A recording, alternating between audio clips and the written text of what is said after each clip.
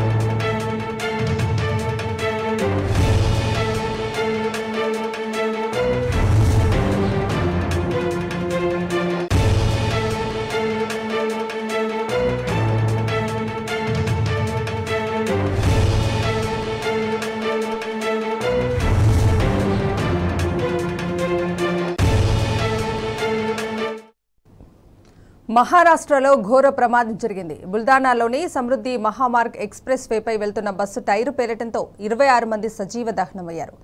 ఘటనా స్థలం నుంచి క్షతగాత్రులను బుల్దానా ప్రభుత్వ ఆసుపత్రికి తరలించి చికిత్స అందిస్తున్నారు పోలీసులు.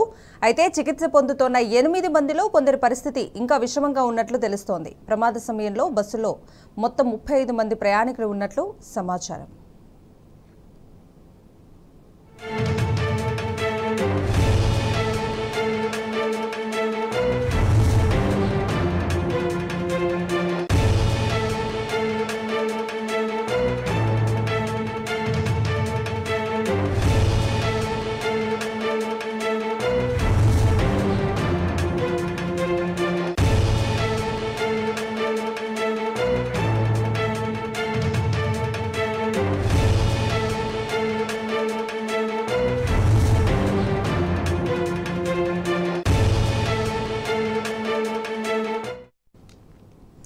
యావత్మాల్ నుంచి సమృద్ధి మహామార్గ్ ఎక్స్ప్రెస్ వేపై పూణే వెళ్తున్న ప్రైవేటు బస్సులో ఒక్కసారిగా మంటలు చెలరేగాయి.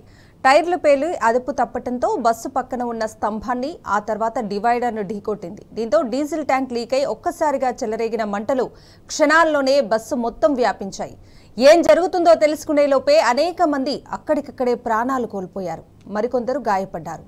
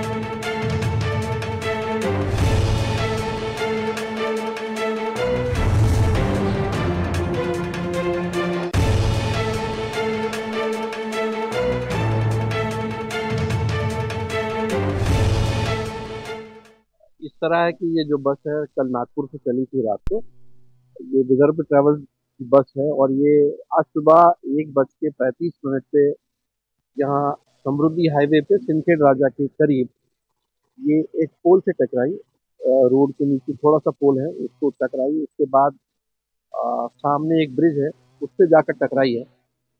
और जब टकराई तो उसका डीजल टैंक जो है वो फूट गया उसके बाद डीजल स्पिल हो गया गाड़ी में।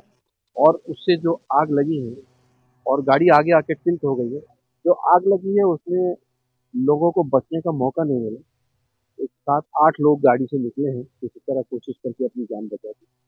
लेकिन बदकिस्मती से पच्चीस लोगों की इसमें मौत हो गई है, और ये मौत एक्सीडेंट से ज़्यादा जलने से मौत हो गई है because all the bodies are charge battery charge इस तरह है ఈ ఘటనలో బస్సు పూర్తిగా కాలిపోయింది. సగం కాలి చెల్లా చెదురుగా పడి ఉన్న మృతదేహాలతో ఆ ప్రాంతమంతా భయానకంగా మారింది. కాగా ఈ ఘటనలో బస్సు డ్రైవర్ ప్రాణాలతో బయటపడినట్లు బుల్దానా ఎస్పీ సునీల్ కడసాని వెల్లడించారు. టైరు పేరటం వల్లే ప్రమాదం జరిగినట్లు తెలిపారు. మృతుల వివరాలు తెలియాల్సి ఉందన్నారు.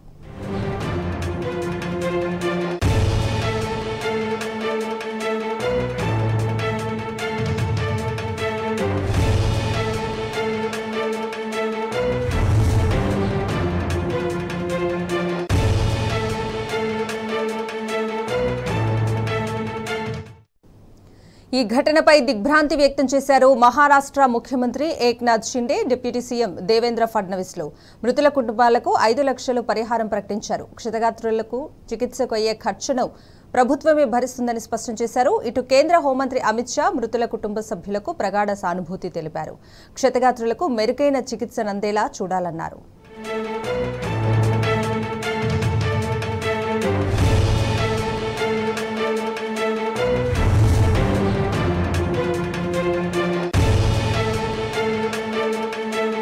ఉదయం పది గంటలకు గ్రూప్ ఫోర్ పరీక్ష మొదలు కానుంది. ఈ మేరకు టీఎస్పీఎస్సీ పకడ్బందీ ఏర్పాట్లు చేసింది. అభ్యర్థులకు ఆరు పద్ధతుల్లో చెకింగ్ నిర్వహించనుంది. పరీక్షకు హాజరయ్యే అభ్యర్థులు తాలిబొట్టు మెట్టలు తీసేయాలనే నిబంధనేమీ లేదని టీఎస్పీఎస్సీ చైర్మన్ జనార్దన్ రెడ్డి చెప్పారు. ఇక ఇదే అంశానికి సంబంధించిన పూర్తి అప్డేట్స్ని మా ప్రతినిధి రాజశేఖర్ లైవ్లో అందిస్తారు. రాజశేఖర్.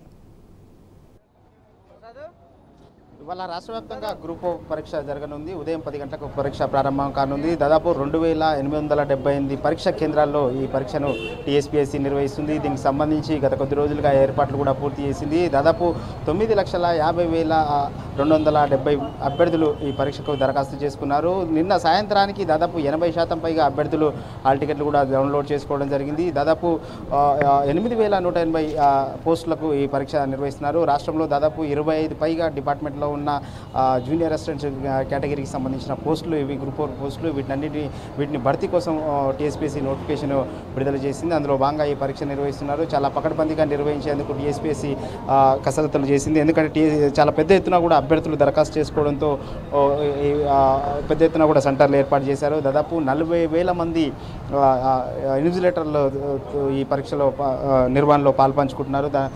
ముఖ్యంగా ఈ పరీక్షకు సంబంధించి ఓఎంఆర్ షీట్ బేసుల్లోనే ఈ పరీక్ష నిర్వహిస్తున్నారు. ఎందుకంటే అభ్యర్థులు ఎక్కువ ఉన్న నేపథ్యంలో ఓఎంఆర్ బేసులుగా నిర్వహిస్తున్నారు. గతంలో టీఎస్పీఎస్సీ ఆన్లైన్ ద్వారా కూడా పరీక్షలు నిర్వహించింది. అయితే దాదాపు తొమ్మిది లక్షల యాభై వేల పైగా అభ్యర్థులు ఉన్న నేపథ్యంలో ఈ ఈ పరీక్షను పరిష్టాత్మకంగా తీసుకొని ఈ పరీక్ష నిర్వహణ చేస్తూ ఉన్నారు. ఈ పరీక్షకు సంబంధించి తొమ్మిది గంటల నలభై ఐదు నిమిషాల వరకే అభ్యర్థులు పరీక్ష హాల్లోకి అనుమతిస్తారు. ఒక్క నిమిషం తొమ్మిది గంటల నలభై ఐదు నిమిషాల తర్వాత ఒక్క నిమిషం లేట్ అయిన అభ్యర్థుల్ని పరీక్ష హాల్లోకి అనుమతించారు. పరీక్ష కేంద్రాల వద్ద పకడ్బందీగా ఏర్పాట్లు చేశారు. ప్రస్తుతం మనం నిజాం కాలేజీ దగ్గర చూస్తున్నాం. ఈ పరీక్షా కేంద్రంలో దాదాపు ఆరు వందల మంది అభ్యర్థులు పరీక్షకు హాజరవుతున్నారు. ఇప్పటికే చా చాలా మంది కూడా పరీక్ష హాల్లోకి ఎంటర్ అయ్యారు. ఎనిమిది గంటల నుంచే పరీక్ష హాల్లోకి అభ్యర్థులను అనుమతిస్తున్నారు. ఒకసారి అభ్యర్థి పరీక్ష హాల్లోకి ఎంటర్ అయిన తర్వాత బయోమెట్రిక్ తంబు తీసుకుంటారు. ఆ తర్వాత ఓఎంఆర్ షీట్ ఇవ్వడం జరుగుతుంది. ఓఎంఆర్ షీట్లో కూడా అభ్యర్థులు బబ్లింగ్ చేసేటప్పుడు హాల్ టికెట్ బబ్లింగ్ విషయంలో తర్వాత పేపర్ కోడ్ బబ్లింగ్ చేసే విధంలో తగిన జాగ్రత్త తీసుకోవాలి. అక్కడ ఎలాంటి మిస్టేక్ చేసినా కూడా ఆ ఓఎంఆర్ షీట్ వ్యాలిడేషన్గా పరిగణించమని చెప్పేసి ఇప్పటికే టీఎస్పీఎస్సీ ప్రకటించడం జరిగింది. సో ఈ నేపథ్యంలో చాలా పకడ్బందీగా ఏర్పాటు చేశారు. పరీక్ష హాల్లోకి ఎంటర్ అవుతున్న అభ్యర్థులు పరీక్ష గేట్ వద్దనే తనిఖీ చేస్తున్న పరిస్థితి మనకు కనపడుతుంది. ఇక్కడ పోలీసులు ప్రభుత్వం జారీ చేసిన ఏదైనా గుర్తింపు కార్డు తర్వాత హాల్ టికెట్ ఈ రెండు ఆ name date of birth match అయితేనే పరీక్ష హాల్లోకి అనుమతిస్తున్న పరిస్థితి మనం ఇక్కడ చూస్తున్నాం. దాదాపు మూడు చోట్ల తనిఖీ చేస్తున్నారు. ఎంట్రన్స్ దగ్గర తర్వాత మధ్యలో మరో చోట గ్యాడ్జెట్స్ కానీ ఏదైనా తీసుకొచ్చారా లేదా అనేది సంబంధించి మరొక చోట కూడా తనిఖీ చేస్తున్నారు తర్వాత పరీక్ష హాల్లోకి ఎంటర్ అయ్యేటప్పుడు ఈ మూడు చోట్ల కూడా తనిఖీ చేసిన తర్వాతనే అభ్యర్థుల్ని లోపలికి అనుమతిస్తున్నారు. చాలా పరిశిష్టమైన భద్రత మధ్య వన్ ఫార్టీ ఫోర్ సెక్షన్ కూడా పరీక్షా కేంద్రాల వద్ద విధించడం జరిగింది. సో ముఖ్యంగా ఆ షూ వేసుకున్న అభ్యర్థులు ఎవరైతే వచ్చారో వాళ్ళందరినీ కూడా పరీక్ష ఆ కేంద్రాల బయటనే షూ కూడా వేయించడం జరుగుతుంది. ఇంకా కొంత తాలిబొట్టు మెట్టలు తీస్తున్నారని కొంత కొంత సోషల్ మీడియాలో జరుగుతున్న ప్రచారాన్ని కూడా టీఎస్పీఎస్సీ ఖండించింది. మేము ఎలాంటి ఇన్స్ట్రక్షన్స్ ఇవ్వలేదు. అలా అలా ఓన్లీ హెవీ జ్యువెలరీ లేకపోతే ఫుల్ షర్ట్ వేసుకున్న అభ్యర్థుల విషయంలో మాత్రమే కొంత ఇప్పటికే హాల్ టికెట్లో ఏవైతే గైడ్ లైన్స్ ఇష్యూ చేసామో వాటి ఆధారంగా మాత్రమే అభ్యర్థుల్ని అనుమతిస్తున్నామని చెప్తున్నారు. ఎందుకంటే గతంలో జరిగిన అనుభవాల దృష్ట్యా చాలా పకడ్బందీగా ఈ పరీక్ష నిర్వహించేందుకు టీఎస్పీఎస్సీ ఏర్పాట్లు చేసింది. సో తొలిసారిగా మండల కేంద్రాల్లో కూడా ఈ పరీక్ష కేంద్రాలను ఏర్పాటు చేశారు. ఎందుకంటే అభ్యర్థులు ఎక్కడో మండల కేంద్రాల నుంచి సిటీకి వచ్చి జిల్లా కేంద్రాల్లో వచ్చి పరీక్ష రాయాలంటే ఇబ్బంది పరిస్థితి ఉన్న నేపథ్యంలో చాలా ఎక్కువ సంఖ్యలో కూడా అభ్యర్థులు దరఖాస్తు చేసుకోవడంతో దాదాపు రాష్ట్రంలో ఉన్న మెజార్టీ మండలాల్లో కూడా ఈ పరీక్ష నిర్వహిస్తూ ఉన్నారు. దాదాపు ఒక్కొక్క మండలంలో పది ఇరవై సెంటర్లు కూడా ఏర్పాటు చేసిన పరిస్థితి ఉంది. సో ఈ నేపథ్యంలో చాలా పకడ్బందీగా కూడా పరీక్ష నిర్వహించేందుకు ఏర్పాట్లు చేస్తూ ఉన్నారు. సో ముఖ్యంగా గ్యాడ్జెట్స్ విషయంలో కావచ్చు ఎలాంటి ఎలక్ట్రికల్ పరికరాలను కూడా పరీక్షా హాల్లోకి అనుమతించడం లేదు. చాలా తక్కువ స్ట్రెంత్కు నువ్వు అభ్యర్థులకు ఒక హాల్ కేటాయించి అక్కడ ఇన్విజిలేటర్లు పర్టికులర్గా అభ్యర్థి తీరును గమనించేందుకు కూడా ఇన్విజిలేటర్లకు రెండు రోజుల పాటు ప్రత్యేక శిక్షణ ఇవ్వడం జరిగింది. అభ్యర్థులు ఈ పరీక్ష రాస్తున్నప్పుడు ఇయర్స్ గమనించడం వాళ్ళ వ్యవహార శైలి ఏదైనా అనుమానాస్పదంగా కనపడితే వెంటనే ఐడెంటిఫై చేసి ఉన్నత అధికారులకు ఇన్ఫర్మేషన్ అందించే విధంగా కూడా ఏర్పాటు చేయడం జరిగింది. మరోవైపు ఇన్విజిలేటర్లకు కూడా పరీక్ష హాల్లోకి మొబైల్ ఫోన్స్ అనుమతి లేదు. పరీక్షా కేంద్రంలో సిబ్బంది ఎవరైతే పనిచేస్తారో వాళ్ళు కూడా మొబైల్ ఫోన్స్ అవన్నీ కూడా బయటనే ఉంచి వెళ్ళవలసి ఉందని చెప్పేసి టీఎస్పీసీ ఇప్పటికే ప్రకటించింది. ఈ నేపథ్యంలో చాలా పటిష్టంగా ఈ పరీక్ష నిర్వహించేందుకు ఏర్పాటు చేస్తుంది. అలాగే మధ్యాహ్నం రెండున్నర నుంచి సాయంత్రం ఐదు గంటల వరకు రెండో పేపర్ ఉంది. ఉదయం జనరల్ స్టడీస్కి సంబంధించిన పేపర్ ఉండగా మధ్యాహ్నం ఎబిలిటీస్కి సంబంధించిన పేపర్ ఉన్నది. దాదాపు ఉదయం నూట యాభై మార్కులకు మధ్యాహ్నం నూట యాభై మార్కులకు మొత్తం మూడు వందల మార్కులకు ఆధారంగా ఈ పరీక్ష నిర్వహిస్తున్నారు. ఉదయం నిర్వహించిన పరీక్షలో క్వాలిఫై అయిన వాళ్ళని ఈ రెండు మార్కుల ఆధారంగా వచ్చిన ఆధారంగానే ఈ పరీక్షలో అభ్యర్థులు ఎవరైతే ర్యాంకు వస్తాయో దాని ఆధారంగా కూడా ఈ ఉద్యోగాలు కేటాయించనున్నారు. చాలా పారదర్శకంగా నిర్వహించేందుకు టీఎస్పీఎస్సీ అనేక కసరత్తులు చేసిన పరిస్థితి అయితే మనకు కనపడుతుంది ఓవరాల్గా అయితే పెద్ద ఎత్తున కూడా అభ్యర్థులు ఇప్పటికే పరీక్ష కేంద్రాల్లోకి చేరుకుంటున్న పరిస్థితి అయితే మనకు ఈ పరీక్ష కేంద్రాల్లో కనపడతా ఉంది. ఇది ఇక్కడ పరీక్ష కేంద్రం వద్ద తాజా పరిస్థితి. రాష్ట్ర వ్యాప్తంగా గ్రూప్ ఫోర్ ఎగ్జామ్ కోసం ఏర్పాట్లు పూర్తయ్యాయి. పరీక్షా కేంద్రాలకు అభ్యర్థులు చేరుకుంటున్నారు. ముఖ్యంగా కరీంనగర్ జిల్లాలో గ్రూప్ ఫోర్ ఎగ్జామ్ కోసం నూట యాభై నాలుగు కేంద్రాలను ఏర్పాటు చేశారు. జిల్లా వ్యాప్తంగా యాభై నాలుగు వేల మందికి పైగా అభ్యర్థులు హాజరు కానున్నారు. కరీంనగర్లో గ్రూప్ ఫోర్ పరీక్షకు సంబంధించి మరిన్ని వివరాలు మా ప్రతినిధి వేణుగోపాలరావు అందిస్తారు. డిఎస్పీఎస్సీకి సంబంధించి చూసుకుంటే ఈరోజు ఎగ్జామ్ ఏర్పాటు చేసినటువంటి పరిస్థితి. మనం ప్రస్తుతం ప్రభుత్వ మహిళా డిగ్రీ కళాశాల వద్ద ఉన్నాం. చూడొచ్చు విద్యార్థులు రోలుకు వెళ్తున్నటువంటి పరిస్థితి మనకు కనిపిస్తుంది. ముఖ్యంగా ఈరోజు నూట యాభై నాలుగు సెంటర్లు ఏర్పాటు చేసినటువంటి పరిస్థితి. కరీంనగర్ జిల్లా విషయానికి వస్తే అంటే యాభై నాలుగు వేల పంతొమ్మిది మంది అభ్యర్థులు పరీక్ష రాస్తున్నటువంటి పరిస్థితి. అంటే నూట యాభై నాలుగు కేంద్రాల ఏర్పాటుతో పాటు అరవై నాలుగు మంది రూటా అధికారులను నియమించారు. నూట యాభై నాలుగు మంది సూపర్ సూపరింటెండెంట్తో పాటు నూట యాభై ఏళ్ళ మంది లైజనింగ్ అధికారులను కూడా నియమించినటువంటి పరిస్థితి. ముఖ్యంగా దీనికి వచ్చేటువంటి విద్యార్థులు తప్పనిసరిగా ఒక ఒరిజినల్ ఐడెంటిటీ కార్డు తీసుకురావాలని చెప్పినటువంటి పరిస్థితి మనకు కనిపిస్తుంది. చూడవచ్చు విజువల్ ద్వారా కూడా మనం ప్రత్యేకంగా ఒక ఫ్లెక్సీ ఏర్పాటు చేశారు. ఆ ఫ్లెక్సీలో చూసుకుంటే Telangana state public service commission సంబంధించినటువంటి రిటర్న్ ఎగ్జామ్ ఉంటుంది. తప్పనిసరిగా దీ దీ- ప్రతి విద్యార్థి ఈ పరీక్ష రాసే వాళ్ళు మాత్రం ఎటువంటి ఎలక్ట్రానిక్ ఐటమ్స్ తీసుకురాకూడదు.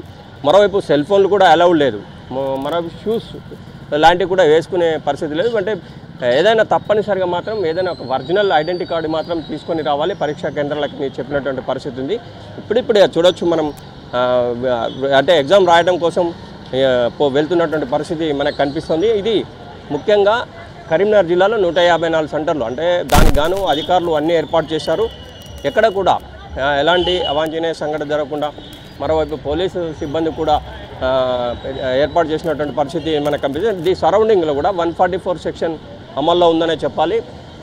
అంటే ఈ పరీక్ష రాసేందుకు వచ్చే విద్యా విద్యార్థులు కావచ్చు ఎవరైనా ముఖ్యంగా మనకు విజువల్ ద్వారా చూస్తే తెలిసింది. అంటే పోలీస్ కూడా ఏర్పాటు చేశారు. ఇంకోవైపు లోనికి ఎటువంటి వాటర్ బాటిల్ కానీ ఇటు ఎలక్ట్రానిక్ గూడ్స్ కానీ సెల్ ఫోన్లు కానీ తీసుకురావద్దని చెప్పినటువంటి పరిస్థితి మనకు కనిపిస్తుంది. ఇంకోవైపు వన్ ఫార్టీ ఫోర్ సెక్షన్ అమలు ఉంది. అంటే ఉదయం పది గంటల నుంచి పన్నెండున్నర వరకు ఎగ్జామ్ ఉంటుంది. ఆ తదనంతరం రెండున్నర నుంచి ఐదు గంటల వరకు ఈ ఎగ్జామ్ నిర్వహిస్తారు. ఇంకో చూడొచ్చు అంటే విద్యార్థులు ఇప్పుడిప్పుడే వస్తున్నటువంటి పరిస్థితి కనిపిస్తుంది. కానీ ఒక్క నిమిషం టైం దాటినా కానీ అలౌడ్ లేదని ఇప్పటికే అనౌన్స్ చేసినటువంటి పరిస్థితి మనకు కనిపిస్తుంది. నూట యాభై నాలుగు సెంటర్లకు సంబంధించి కూడా అధికారులు అన్నీ ఏర్పాటు చేస్తారు అంటే దూర ప్రాంతాలు ఉన్నవారు త్వరితగతిన వచ్చి ఒరిజినల్ సంబంధించిన ఐడెంటిటీ కార్డు తప్పనిసరిగా తీసుకురావాలని చెప్పినట్టు బ్యాంక్ పాస్బుక్ కావచ్చు డ్రైవింగ్ లైసెన్స్ కావచ్చు ఆధార్ కార్డు. ప్రపంచమే అబ్బురపడే నగరంగా హైదరాబాద్ రూపుదిద్దుకుంటోంది. సీఎం కేసీఆర్ పాలనలో హైదరాబాద్ దశ మారిపోతుంది. నగరవాసులకు అన్ని సౌకర్యాలు అందించేలా ప్రభుత్వం చర్యలు తీసుకుంటోంది. ఇందులో భాగంగా మంత్రి కేటీఆర్ ఇవాళ ఓఆర్ఆర్ పై ఇంటర్చేంజ్ను కోకాపేట్ ఏఎస్డిపిని ప్రారంభించనున్నారు.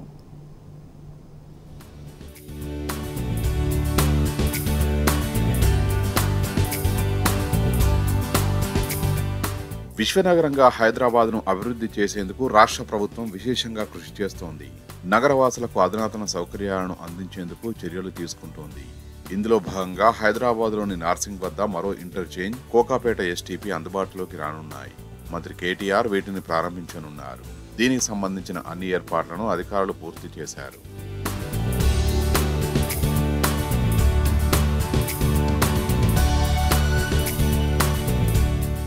ఔటర్ రింగ్ రోడ్డుపై నార్సింగి వద్ద నిర్మించిన ఇంటర్చేంజ్ ప్రజలకు అందుబాటులోకి రానుంది. దీంతో నార్సింగి మంచిరేవుల గండిపేట ప్రాంతాల ప్రయాణికులతో పాటు లంగర్ హౌస్ శంకర్పల్లి ప్రాంతాల నుంచి వచ్చే వాహనదారులు ఓఆర్ఆర్ మీదుగా వారి గమ్యస్థానానికి చేరుకోవడానికి ఎంతో సులువవుతుంది.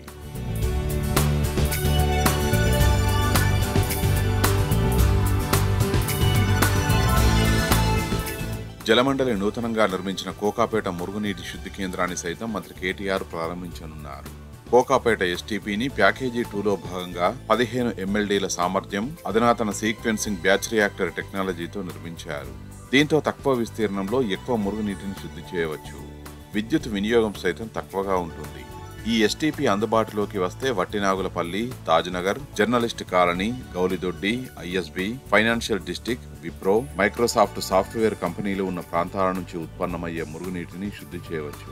దీని నిర్మాణానికి మొత్తం అరవై ఆరు పాయింట్ ఒకటి ఆరు కోట్లు ఖర్చయ్యాయి. ప్రభుత్వ దవాఖానకు చికిత్స కోసం వచ్చే రోగులకు ఉచితంగా వ్యాధి నిర్ధారణ పరీక్షలు చేయాలనే సంకల్పంతో ప్రభుత్వం పనిచేస్తోంది. అందుకోసం వైద్య రంగంలో విప్లవాత్మక మార్పులు తీసుకొచ్చిన బీఆర్ఎస్ ప్రభుత్వం టీ డయాగ్నోస్టిక్స్ పేరుతో మరిన్ని సేవలు అందిస్తోంది. సీఎం కేసీఆర్ ఆదేశాల మేరకు టీ డయాగ్నోస్టిక్స్ల సంఖ్యను నూట ముప్పై నాలుగుకు పెంచారు. ఇవాళ నుంచి టీ డయాగ్నోస్టిక్స్ సేవలను మరింత విస్తరించనున్నారు.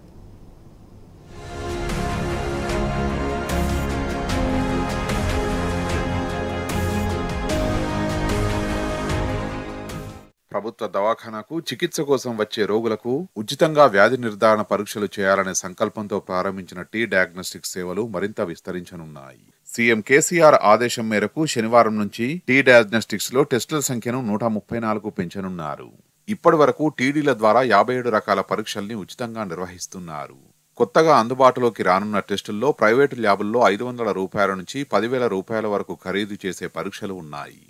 ఉదాహరణకు ఇమ్యూనో హిస్టోకెమిస్ట్రీ పరీక్షకు ప్రైవేటు ల్యాబుల్లో సుమారు పదివేల రూపాయల వరకు వసూలు చేస్తారు. వీటితో పాటు తలసేమియా హీమోఫీలియా అనీమియా కాలాజార్ వంటి వ్యాధుల్ని గుర్తించే profiles HIV test viral load టెస్టులు వంటివి అందుబాటులోకి రానున్నాయి. దీంతో పాటు మరో ఎనిమిది జిల్లాల్లో కొత్తగా ఏర్పాటు చేసిన ప్యాథాలజీ ల్యాబులు పదహారు జిల్లాల్లో నెలకొల్పిన రేడియాలజీ ల్యాబులు ప్రజలకు అందుబాటులోకి రానున్నాయి. ఆర్థిక వైద్యారోగ్య శాఖ మంత్రి హరీష్ రావు వీటిని శనివారం ప్రారంభించనున్నారు. రంగారెడ్డి జిల్లా కొండాపూర్లోని ఏరియా దవాఖానా నుంచి వర్చువల్గా వీటిని ప్రారంభిస్తారు.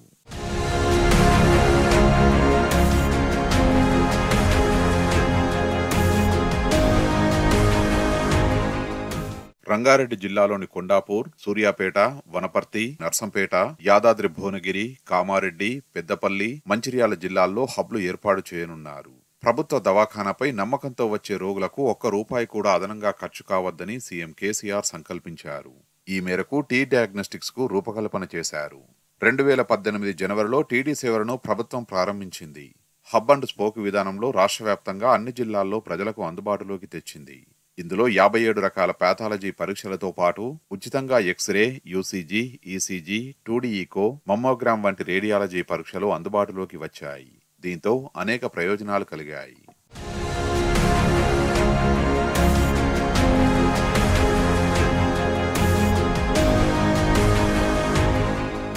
రేడియాలజీ పరీక్షలు మరింత నాణ్యంగా వేగంగా నిర్వహించాలనే లక్ష్యంతో ప్రభుత్వం ప్రతి జిల్లా కేంద్రంలో ఒక రేడియాలజీ హబ్ ఏర్పాటు చేయాలని నిర్ణయించింది. ముప్పై రెండు రేడియాలజీ హబ్ల ఏర్పాటుకు గతేడాది అనుమతినిచ్చింది. ఇందులో ఇప్పటి వరకు పదిహేడు హబ్ల పనులు పూర్తయ్యాయి. హైదరాబాద్తో పాటు ప్రస్తుతం పద్దెనిమిది జిల్లా కేంద్రాల్లో హబ్లు ఉన్నాయి. మిగతా పదమూడు జిల్లాల్లో హబ్ల ఏర్పాటుకు ప్రభుత్వం అనుమతినిచ్చింది. హన్మకొండ జయశంకర్ భూపాలపల్లి వరంగల్ నర్సంపేట వనపర్తి రంగారెడ్డి పెద్దపల్లి కామారెడ్డి మంచిర్యాల యాదాద్రి భువనగిరి సూర్యాపేట నాగర్ కర్నూల్ మేడ్చల్ మల్కాజ్గిరి నారాయణపేట ఏర్పాటుకు ప్రభుత్వం నిరుడు అనుమతినిచ్చింది. వీటిలో పనులు పూర్తయ్యాయి. ఇవి శనివారం నుంచి అందుబాటులోకి రానున్నాయి. ఒక్కో రేడియాలజీ పాథాలజీ హబ్ ఏర్పాటుకు ప్రభుత్వం ఇప్పటివరకు నాలుగు పాయింట్ మూడు తొమ్మిది కోట్ల రూపాయలు ఖర్చు చేస్తున్నది. నూట ముప్పై నాలుగు పరీక్షలు నిర్వహించేందుకు మరో ఒకటి పాయింట్ ఏడు సున్నా కోట్ల రూపాయలు వెచ్చిస్తున్నది. అంటే ఒక్కో హబ్ ఏర్పాటుకు ఆరు పాయింట్ సున్నా తొమ్మిది కోట్ల రూపాయల వ్యయం కానున్నది. గతంలో ల్యాబ్ల నిర్వహణకు ఏటా రెండు పాయింట్ నాలుగు సున్నా కోట్లు ఖర్చు కాగా ఇప్పుడు అదనంగా మరో ముప్పై లక్షల రూపాయల భారం పడనున్నది. మొత్తంగా ప్రభుత్వం ఏటా మూడు కోట్ల రూపాయలు వెచ్చించనున్నది.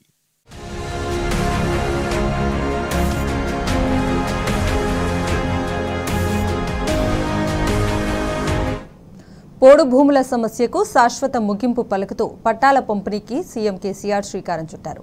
కొమరం భీం ఆసిఫాబాద్ జిల్లా కలెక్టరేట్లో పోడు భూముల పట్టాల పంపిణీని ప్రారంభించారు. గిరిజన రైతులకు పోడు పట్టాలను అందజేశారు. ఈ సందర్భంగా గిరిజన రైతులతో ముఖ్యమంత్రి ఆత్మీయంగా మాట్లాడారు. పట్టాలను అందుకున్న అన్నదాతలంతా సీఎం కేసీఆర్కు మనస్సారా ధన్యవాదాలు తెలిపారు. ఇచ్చిన మాటను నిలబెట్టుకున్న ముఖ్యమంత్రికి రుణపడి ఉంటామన్నారు.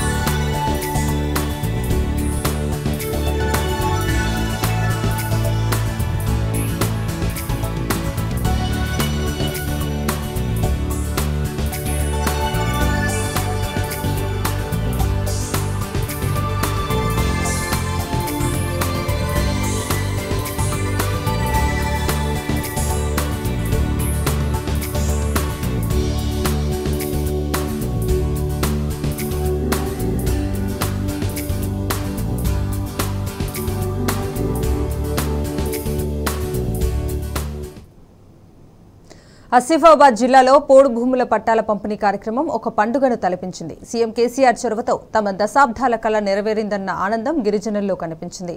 కొత్త బట్టలతో ఉత్సాహం కార్యక్రమంలో పాల్గొని ముఖ్యమంత్రి నుంచి పట్టాలు స్వీకరించారు. అనంతరం సీఎం కేసీఆర్ ప్రసంగాన్ని ఆసక్తిగా వింటూ వరాలు ప్రకటించిన ప్రతిసారి చప్పట్లు ఈలలతో తమ సంతోషాన్ని ప్రకటించారు.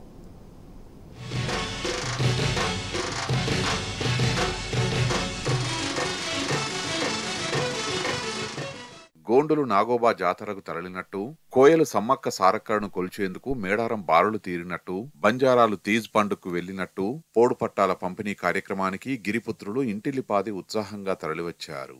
బీఆర్ఎస్ అధినేత సీఎం కేసీఆర్ దశాబ్దాలుగా పోడు చేసుకుంటున్న గిరిపుత్రులకు అటవీ యాజమాన్య హక్కుపత్రాల పంపిణీని కొమ్రంభీం ఆస్ఫాబాద్ జిల్లా కేంద్రంలో అట్టహాసంగా ప్రారంభించారు. పట్టాలు అందుకున్న గిరిపుత్రుల ఆనందంతో ఆ ప్రాంతమంతా సందడిగా మారింది.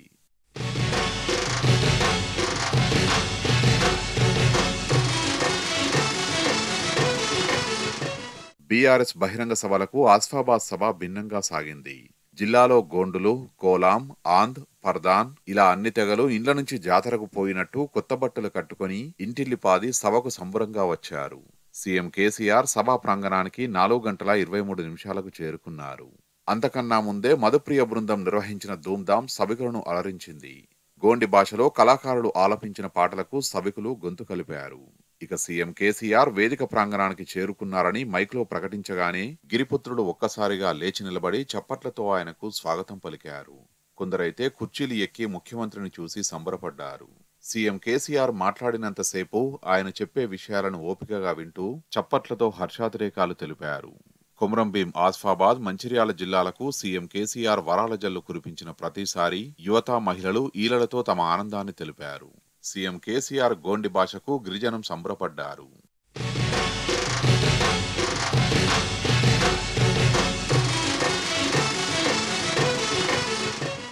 సీఎం కేసీఆర్ పంపిణీ చేసిన పోడు పట్టాలను స్వీకరించిన పన్నెండు జంటలు ఈ కార్యక్రమానికి కొత్త బట్టలతో హాజరయ్యారు.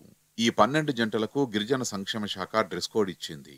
పురుషులకు తెల్లదోతి కమీజ్ రుమాల్ ఇవ్వగా మహిళలకు చిలకపచ్చ చీర బ్లౌజ్ను గిరిజన సంక్షేమ శాఖ అందించింది. కొత్త బట్టలతో అటవీ హక్కుల పట్టాలు అందుకున్న వాళ్ళ ఇండ్లకు సర్కారు పండుగను తెచ్చింది.